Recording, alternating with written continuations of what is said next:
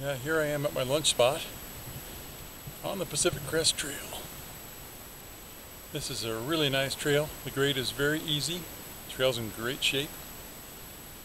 It's August 3rd, 2012. Went about seven and a half miles to the 5,600 foot elevation level and hit solid snow. It was about noon, so I decided to turn around and head on back. That's Pamelia Lake down there, way down the hill. Been there several times. Many nice trips there. And the guy behind the camera. There's my humble pile of gear there. Brought a lot of stuff today since I'm going solo. I always take lots of extra food and other items that I wouldn't take maybe if I was in a large group. Well, that's about it. One more shot of that beautiful lake down there. See if I can zoom in with this camera.